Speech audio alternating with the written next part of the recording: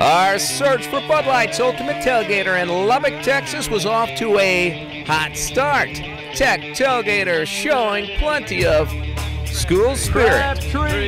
Singing, Fight Raiders, fight, fight Raiders, fight, fight for the school we love so dearly. We'll hit 'em high, we'll hit 'em low, we'll push the ball across the goal. Tech, fight, fight. and cheering for those Red Raiders.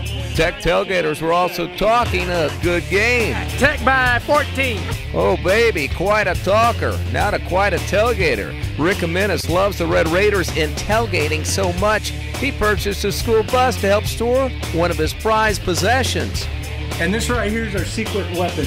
Outside, Rick fires up not one but two pits. So we got some ribs uh, smoking on here. I'm not sure if they've thrown them on yet. We're trying to get it to temperature right now. Oh yeah, they do.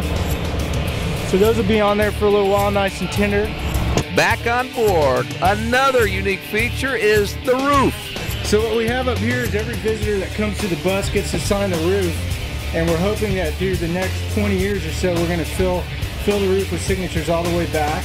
Now to what tailgating is all about. So what makes a good tailgate party is obviously the bus, Bud Light, and barbecue. So it's the three B's.